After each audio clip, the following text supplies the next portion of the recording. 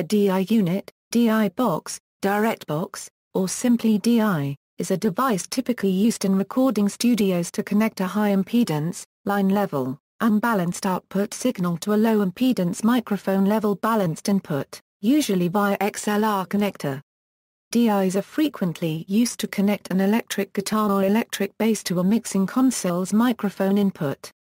The DI performs level matching, balancing, and either active buffering or passive impedance matching impedance bridging to minimize noise, distortion, and ground loops. DI boxes are extensively used with professional and semi-professional PA systems and in sound recording studios. History Passive direct boxes first appeared in the United States in the middle 1960s, most notably in Detroit at radio stations and recording studios like Motown, United Sound Systems, Golden World Records, Tera Shirma Studios and the Metro Audio Capstan Roller remote recording truck. These DIs were custom-made by engineers like Ed Wolfram with his Wolfbox, and by concert sound companies to solve certain problems associated with amplifying electronic musical instruments, especially electric guitars. These boxes typically contained an audio transformer with a turns ratio from approximately 8:1 to 12:1, and thus an impedance ratio of around 144:1. With this kind of transformer, the output voltage of the instrument is stepped down to a range compatible with the typical mixing console's microphone preamp. The typical console preamp input impedance of 1500 ohms would appear to the electronic instrument as a high input impedance of 216,000 ohms. The passive direct box was suitable for most electronic musical instruments but it negatively colored the sound of ones with weaker output signals, such as Fender Rhodes pianos and Fender Precision basses with single-coil pickups. To accommodate these instruments, active direct boxes were designed containing powered electronic circuitry which increased the input's impedance from about 200,000 to above 1 million ohms. In 1975, a 48-volt phantom-powered active direct box was designed for Leon Russell's recording studio, its circuitry published in Decibel, the sound engineering magazine. The sound company Tycobrahe, known for supporting large rock festivals such as California Jam, offered an active direct box for sale in 1977, a model capable of plus 9 dBm line-level output, with a built-in attenuator to compensate for various input levels. Purpose the direct box takes a high impedance, unbalanced signal and converts it to a low impedance, balanced signal. This allows the signal to be sent over long cable runs with significantly less signal loss due to the lowering of the impedance, and greater rejection of interference due to the benefit of common mode rejection in a balanced signal. Furthermore, the lower impedance allows an insignificant load to the input of a mixing console or preamp which is also designed to accept input from low impedance microphones. Passive DI units A passive DI unit typically consists of an audio transformer used as a balun. The turns ratio is typically chosen to convert a nominal 50-key copyright signal source to the 100 Euro 200 I copyright expected by the input of an audio mixer. Typical turns ratios are in the range of 10-1 to 21. Less commonly, a passive DI unit may consist of a resistive load, with or without capacitor coupling. Such units are best suited to outputs designed for headphones or loudspeakers.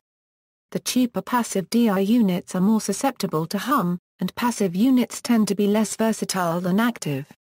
However, they require no batteries, are simpler to use, and the better units are extremely reliable when used as designed. Some models have no settings, while others can have a ground lift switch, a pad switch and a filter switch for coloring the sound. Active DI units An active DI unit contains a preamplifier. Active DI units can therefore provide gain, and are inherently more complex and versatile than passive units.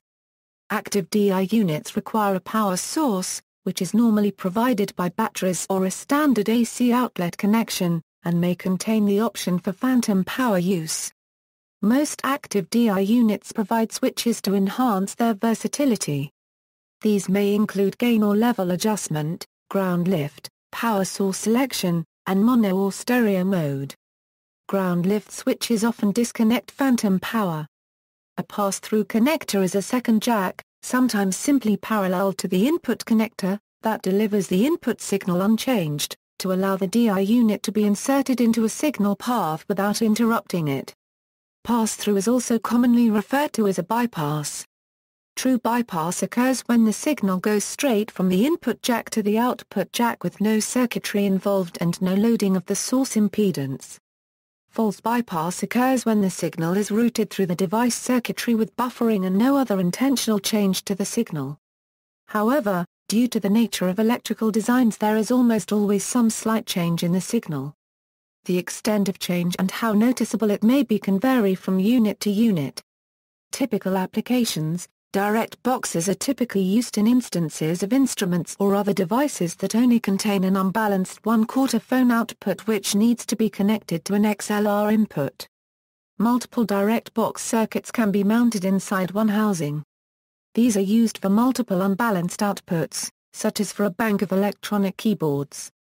Equals acoustic or electric instruments equals, DIs can be used on instruments with electronic circuitry and pickups that do not contain an XLR balanced output. An example of this application would be an electric keyboard that needs to be connected to a mixer board either directly or through an audio snake. Another example would be an acoustic guitar with pickups, an electric guitar or bass guitar that would be mixed through a mixing console into a main or monitor mix. Equals instrument amplifiers equals, some instrument amplifiers contain built-in DI units, and can be connected to a mixing console directly without needing an external direct box. This would be a typical setup for a person who wants to run their instrument through a public address system while keeping the unique sound of the amplifier. Some instrument amplifiers have the ability to turn off the amplifier EQ through a pre-EQ post-EQ switch. This can be used if a clean direct output from amplifier is desired. It is common to use both a DI and a microphone on the same source. One method is to connect a guitar amplifier speaker level output to a DI and then run it to one channel of the mixing console, and run a mic'd guitar speaker signal into another channel of the mixing console. Another method is to connect a DI between the guitar and the amplifier. The DI signal and mic'd guitar speaker can then be selectively blended, with the DI providing a more immediate, present, bright, unequalized sound, and the microphone providing a more live sound, with instrument amplifier characteristics and some room ambience. Examples of use, direct injection tracking is used on almost every electric bass part on Sgt. Pepper's Lonely Hearts Club Band, most prominently on Lucy in the Sky with Diamonds, When I'm 64, Lovely Rita, and A Day in the Life, as well as Only a Northern Song, I Me Mine, and the lead guitar introducing Revolution. Other clear examples include Dave Matthews Band's So Much to Say, and Adele's Daydreamer. See also, Reamp. References. External links, schematic for a transformer-based, signal through DI box, Jensen Transformers suggested schematic for a split-signal DI box, direct boxes, 1998 article by JDB Sound Acoustics giving some technical info on what direct boxes can accomplish.